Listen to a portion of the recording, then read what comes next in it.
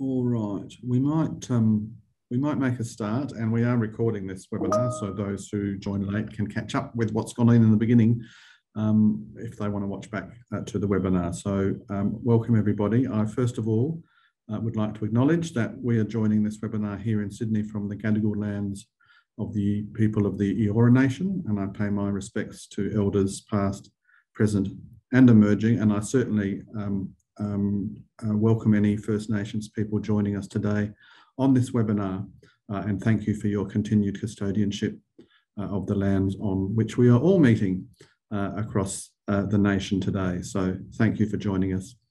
Uh, my name is Andy Donovan. I'm the Director of Multi-Year Investment. Um, and um, I am a Caucasian man in my 50s. I'm wearing a green jacket uh, and a brown skivvy today. I've got a blurred background with some um, artwork in one of our meeting rooms here at the Australia Council. Uh, and I've got uh, greying hair and I'll be your host today. Uh, and joining me um, is Annette Madden. Hi everyone, I'm Annette. I'm the head of theatre here at the Australia Council and I am a Caucasian woman in my 40s. I have um, brown hair down to my shoulders, I'm wearing a green and black patterned dress, and I have round dark glasses, and the background behind me is white and green, um, also a bit blurred here in one of the um, Australia Council small meeting rooms. Um, thanks for joining us all today. Thank you. And we're also joined uh, by our wonderful interpreter, Claire and Chavoy, who will um, um, be switching between uh, each other as we work our way through uh, the subject matter today here. Uh, and of course, what we're focusing on uh, is the um, two uh, new funding opportunities that we've announced at the Australian Council uh, for Victorian Circus and Physical Theatre. And so what we really want to do today is kind of uh, introduce those, uh, those categories for you so you get a sense, sense of what the purpose of them is. but also we um, are very keen to hear from you and questions you may have about the sorts of applications you can make to those categories. So uh, in the um, in this Zoom webinar, there's uh, you should see on your screen uh, an area for question Q and A. So as we're going through, please uh, don't hesitate to uh, add in um, and type in any questions. Um, and also, if you want to, uh, you're quite welcome in the chat just to introduce yourself and say hi to everyone, and and even include the country that you're on and, and and where you're coming from too, by way of acknowledging um, the, you're the First Nations people from where you're calling. Um, so please take advantage of the technology uh, and uh, uh, Annette uh, and I will try and take you through uh, these categories and uh, explain what this funding program is trying to do. So Annette, perhaps I could ask you to introduce both of the programs and just do a short description perhaps of what we're aiming to achieve through them. Thanks, Andy. Um, look, as, as I'm sure you've all um, seen from reading what's on the website, there are two categories um, for this particular funding round. Um, one is for individuals and groups, and one is for organisations. Um, so it follows a similar kind of framework um, from our arts projects uh, for organisations and individuals, groups, grants. Um, but obviously, this has a very particular lens and, um, you know, is is I think a real opportunity to to find um, projects and initiatives and opportunities that will specifically support the Victorian circus and physical theatre sector.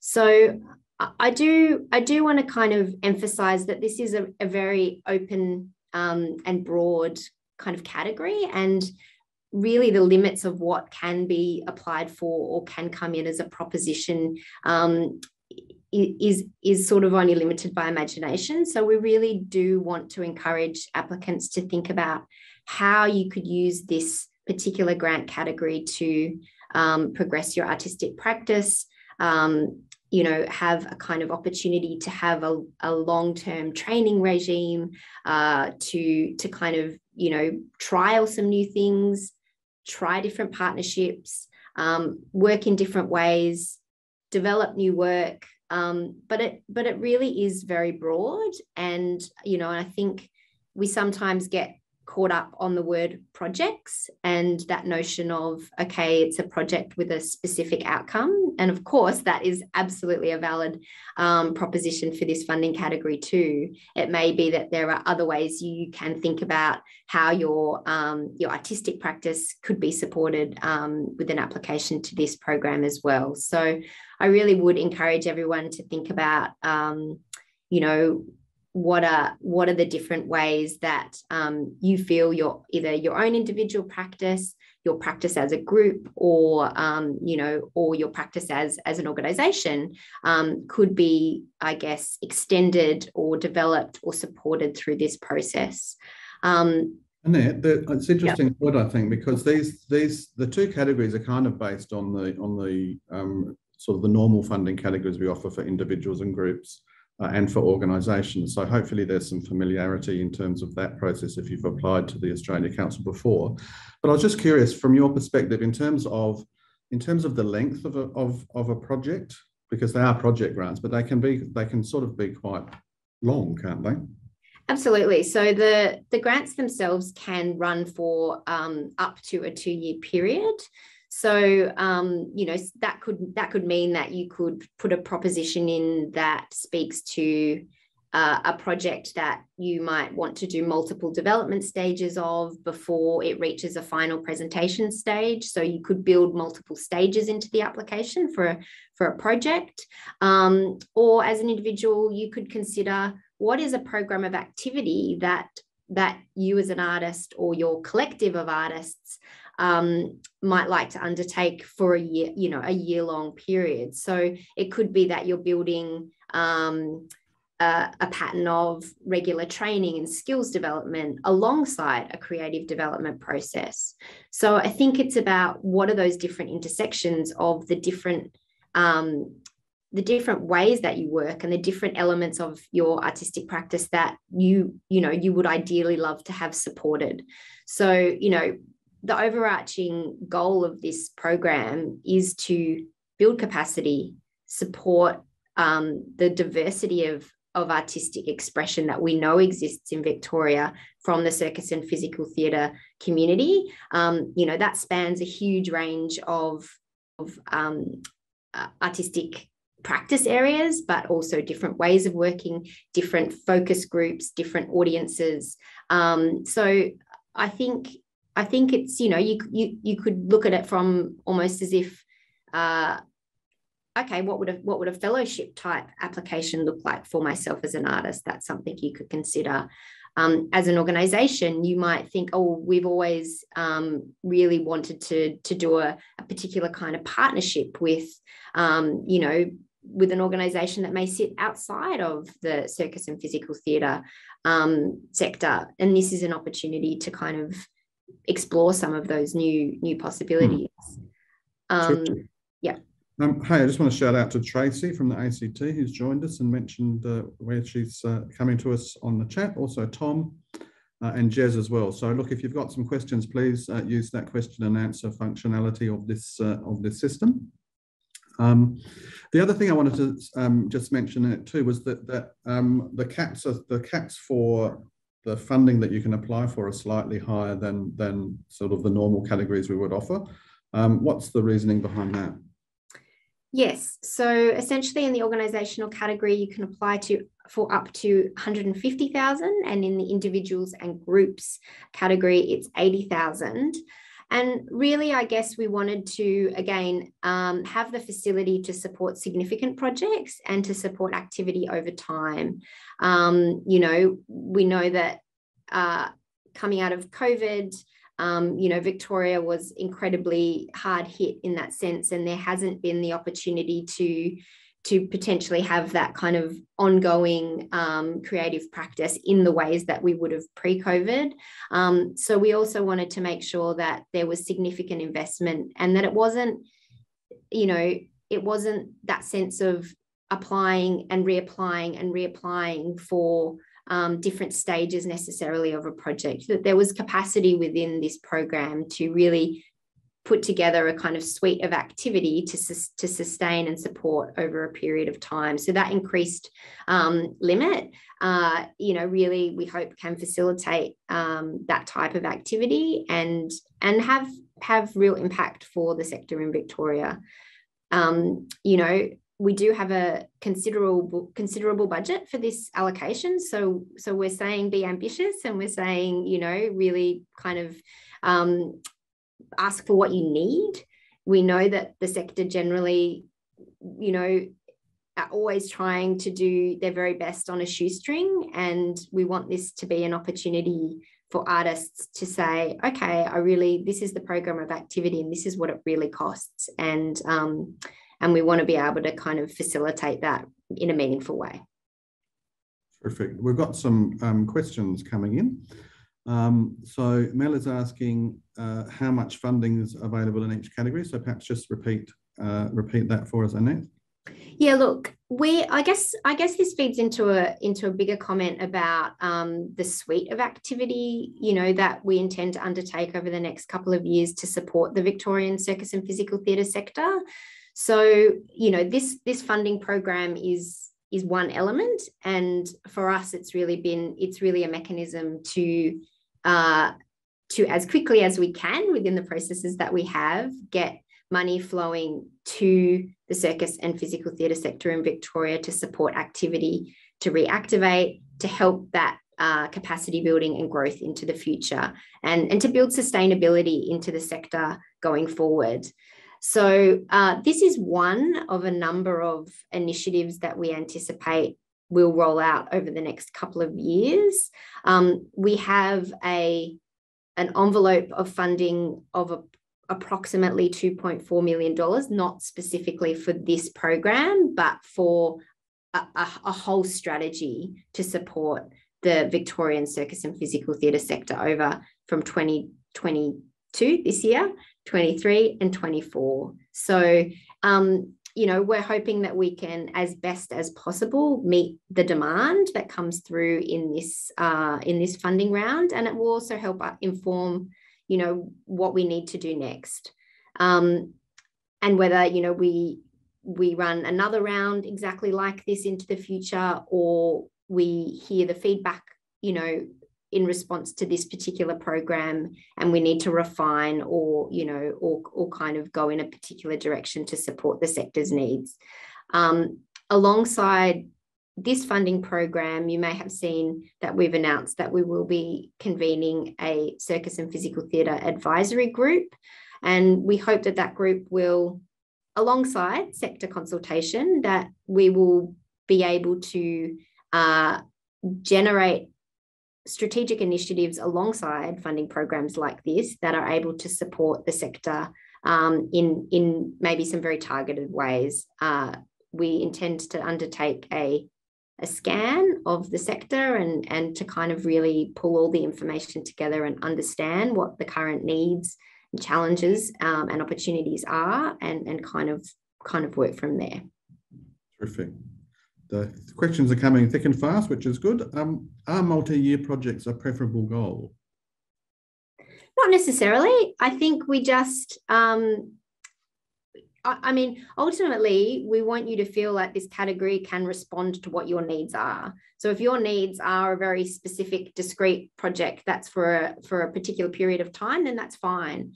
Um, it you know you won't you won't be disadvantaged for for submitting in that way. I guess we just want to make sure that people are aware that you can you know apply for for a multi-year project or for a project that happens over over a number of period you know a, a kind of um, set period of time of your deciding. So really it's about what you know what you what the sector needs um, you know where where your artistic ambition lies um, where you think support and capacity building can be most meaningful. So i think it's not about what we want it's genuinely about us trying to be as responsive as we can to the sector and and sort of providing an open framework for uh, for applications to speak to that. Terrific, and thanks for that question, Tom. Um, Jeremy asks, um, could this grant be used for infrastructure, sets, or props?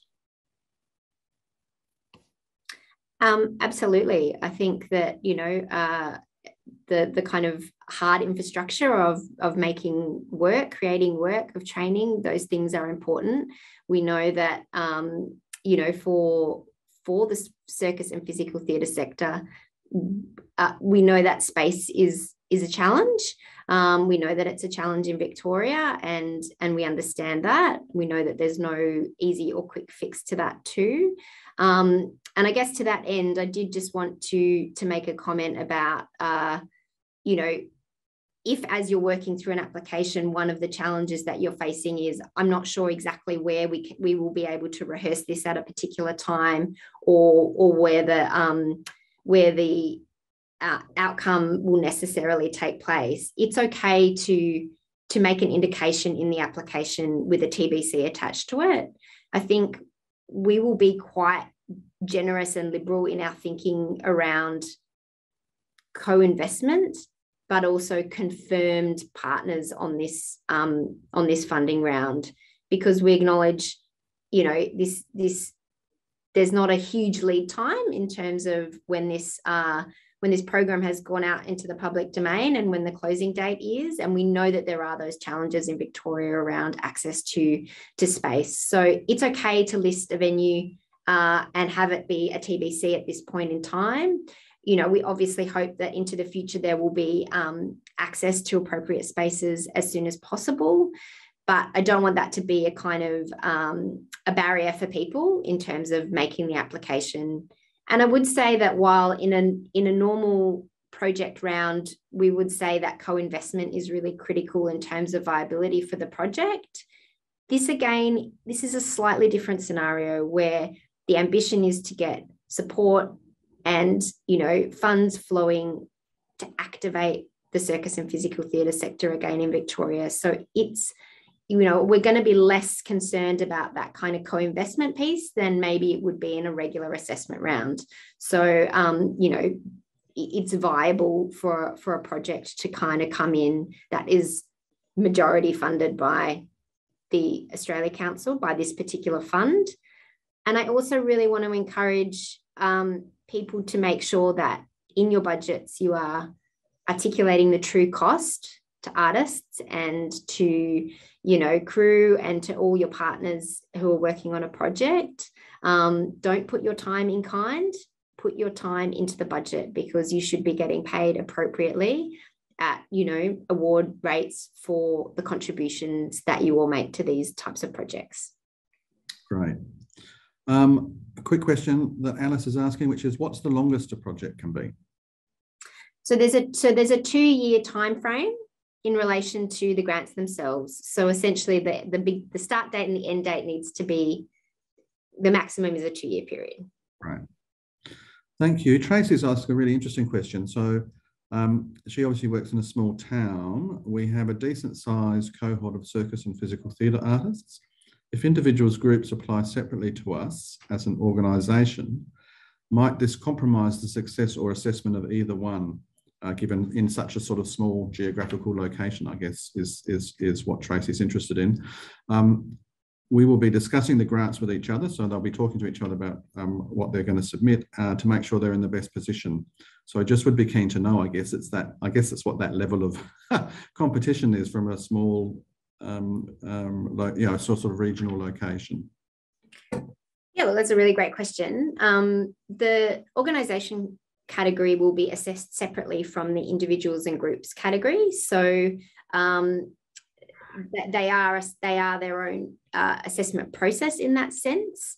Um, but you, I guess it depends on what the activity is. Uh, I don't think you would want to to submit duplicate applications, which were for the same uh, for, for exactly the same activity or for exactly the same part of the activity. So, uh, you know, I guess there's a scenario where the organize, you know, I'm totally just making this up, but where the organization could apply for a program to facilitate work by local artists. Um, and that may that application may speak to the kind of uh, the platform itself or the kind of program that you're setting up in which to you know and how you might resource that element of it um, the applica- the individuals themselves could then apply for the creation of the work. So there could be a scenario where the two work in tandem together but you would want to make sure that they weren't that that those two different grants or series of grants weren't asking for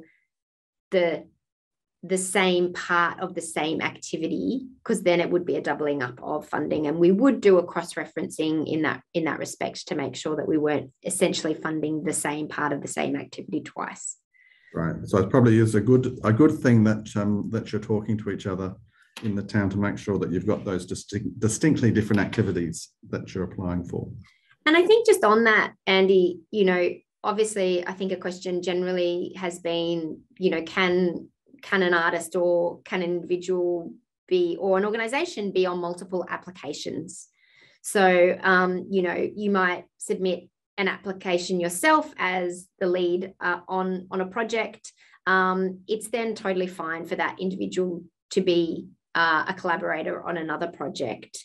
Um, but it would be that the, the lead applicant on those different uh, on those different applications would need to be different. Um, and similarly, you know, an organization may put in an application themselves. They could still be a partner on another ap- application.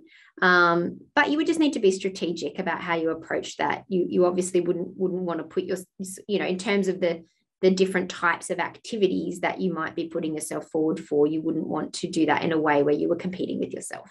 Yeah, terrific. Um, another question from uh, Lourdes. I hope I'm saying uh, pronouncing your name correctly. Uh, can we apply for this round if we were successful in receiving a grant from the Australia Council uh, for the Arts and we haven't acquitted yet? Oh, I can answer this one. Um, thank you. Um, so look, as long as the as long as the acquittal is not outstanding, so overdue, um, you can apply, even though you may have a project that's currently in progress. Um, the only time you can't well, the only time you're not eligible to apply is if we actually have, uh, if that report is, is, is long overdue uh, and we haven't received the report from you yet. So uh, absolutely fine to apply if you've already um, got a grant. Um, so uh, uh, Chiara has asked a question, do the projects or outcomes have to physically take place in Victoria and or just benefit Victorian artists? That depends a little bit on who the applicant is. So, if you are a Victorian applicant, then you can apply for activity that takes place in Victoria, nationally, or internationally.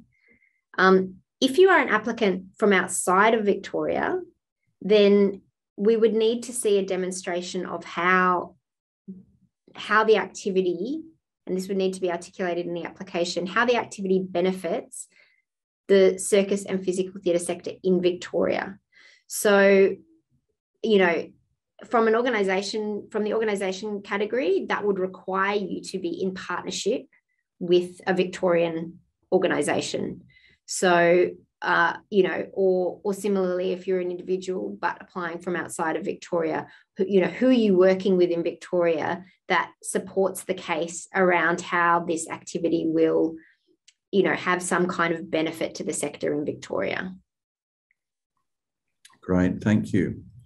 Um, Henrietta is asking, would the creation of a circus space be an eligible project? I don't see why not. I mean, this is an opportunity to to set up, uh, you know, some models and trial some models that could support greater sustainability in the sector going forward.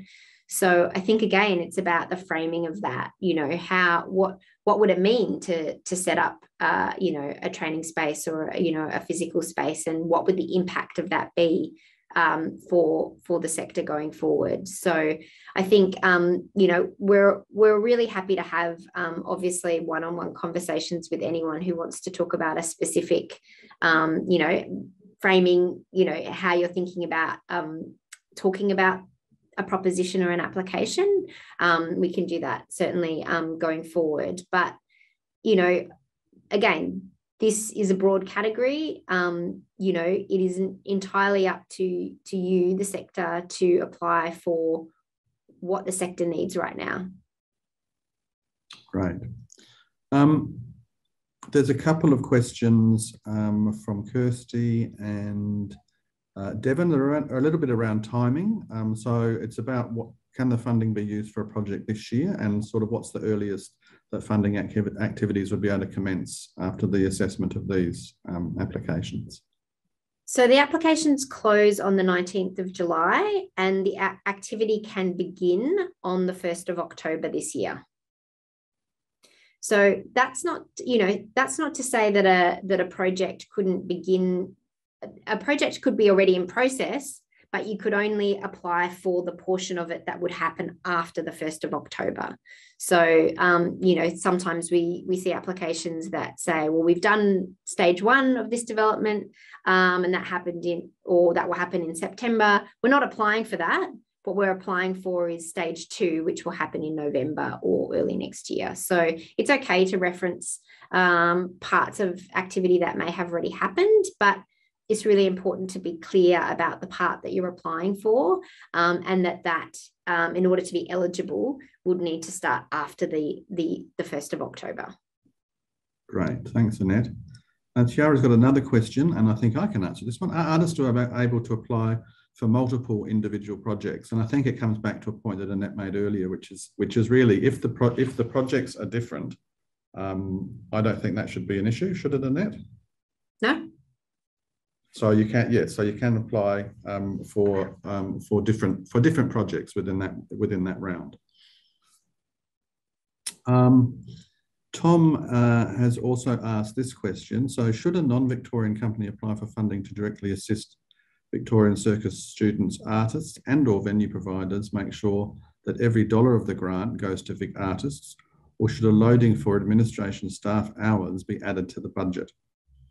Um, I think I get that question. So it's about, um, so it's a non-Victorian applicant, so let's say it might be a company, um, uh, applying to directly assist Vic, Vic, um, artists in Victoria.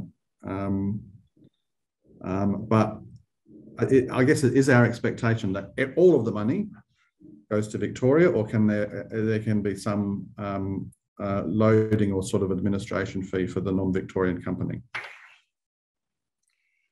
Yeah, look, I think obviously if you're a Victor- if you're a company that's applying from outside of Victoria, then it has to be in partnership with a Victorian organisation. So, um, so we would expect, I think, then to see, you know, a really robust budget that spoke to all the different all the different costs involved. Obviously, if you're an if you're an organisation that's not in Victoria but you're delivering, then there will be costs associated with that. Ultimately, I think it's it's less about thinking about every dollar being spent in Victoria and more about how does the activity proposed impact, support, build capacity, um, you know, help help kind of future sustainability of the sector in Victoria. So I think it's it's just it's just a little bit about the perspective on that. Um, you know, and and kind of making a, a common sense call about what what's reasonable in terms of um, where that where that budget is being allocated. Thanks, Annette. Um, and Tom says thank you too. Um, the um, I guess I just wanted to touch. We've we, you, you spoke a little bit about it before, um, just around I suppose expectations around artist fees. Uh, so this is a two-part question from me to you. So one is, um, I guess, just to so talk a little bit more about the expectations around around artist fees and and making sure people are getting paid properly. And the other one is just around, um, obviously, um, through the normal programs, we expect uh, when there's a large grant amount asked, a significant amount of co-funding. Um, and I think we're sort of we're sort of being a bit more relaxed about that. So perhaps you could just talk a little bit more about those two points in there. Great, thanks, Andy.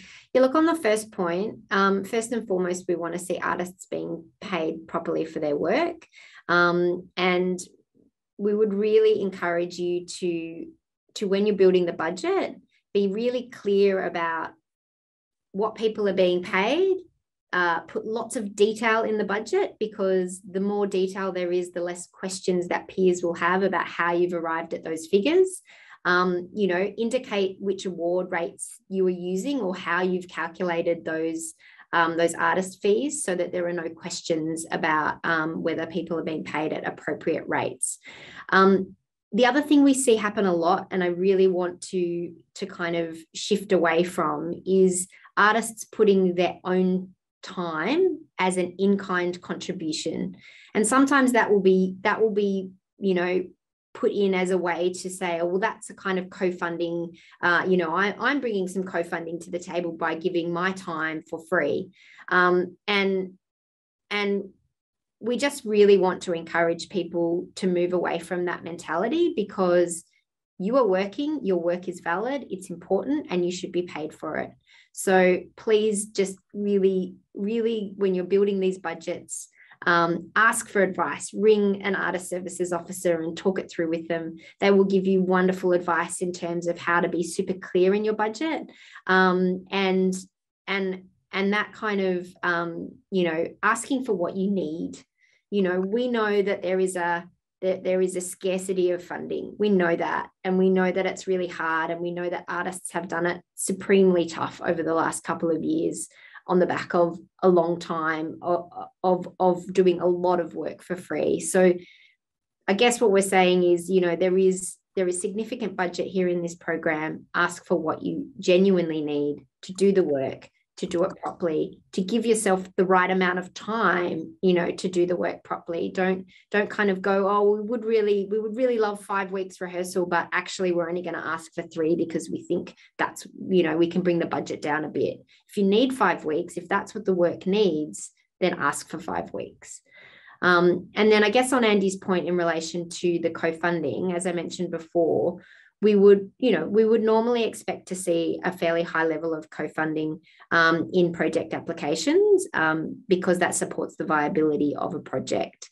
Um, as Andy said, this is a little bit of a, you know, a little bit of a different scenario where the intention is to really kind of facilitate funding to the sector in order to reactivate and get work happening and to enable collaboration and to enable um, the sector to to be actively making work, training again, you know, um, you know, after a, a, really, really difficult period where physical activity was was just not possible, particularly in Victoria.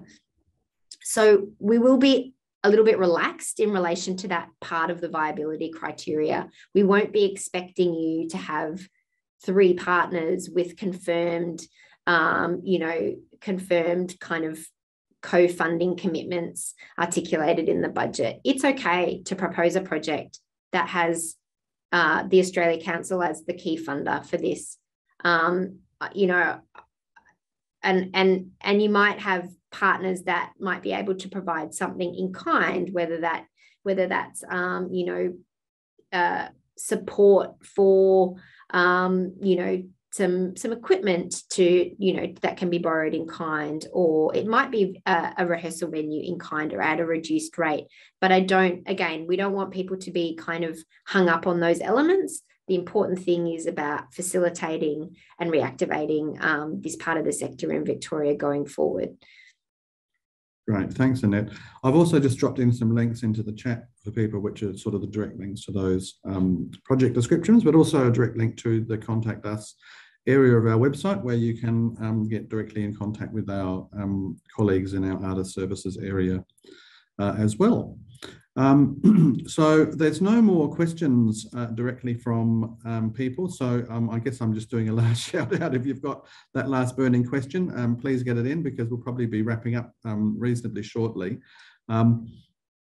I did just want to mention too that we are working quite um, closely with our colleagues at um, Creative Victoria as well, um, um sort of um, through some of the some of the issues around the the, the circus um, and physical theatre area. So just wanted to get that message out to you as well that that we are sort of in pretty close contact with them as we as we work through the, this sort of program. But this particular these two particular categories will be run through the Australia Council and assessed through our normal uh, processes here. So um, Mel has just asked, how will they be assessed? Annette.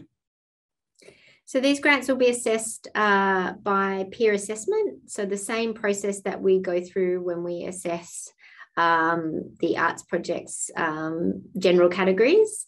Um, obviously, we will be looking for to curate panels which uh, who come with uh, specific physical theatre and circus expertise. Um, you know, we will we will obviously be managing you know conflicts of interest and making sure that um, we're able to, to curate and bring together a panel who can be uh, impartial who don't have applications in themselves etc so um, you know we'll work towards that in the coming months but essentially it will be a peer assessed process. Um, oh the lights have gone out here. I'm not moving enough. And, um, and how to turn them back on um, so yeah, essentially it will it will run through the same rigorous peer assessment process um, as all of our uh, public um, publicly advertised grants. All the lights we, now. we can still see you, Annette. So okay, good.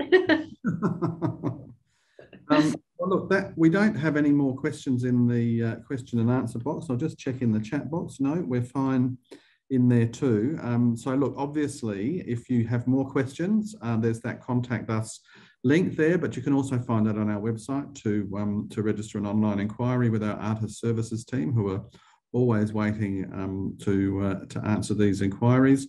Um, and of course, if you, um, um, uh, you, you, sort of, I guess the, the process really is to sort of go through that um, method of inquiries uh, first, uh, and then um, if there's is if there's something they can answer, they will obviously direct it on to Annette um, for further um, advice. Um, there's just one last question here. Excellent work, um, Ciara. Are circus festivals events able to apply? Yes, absolutely.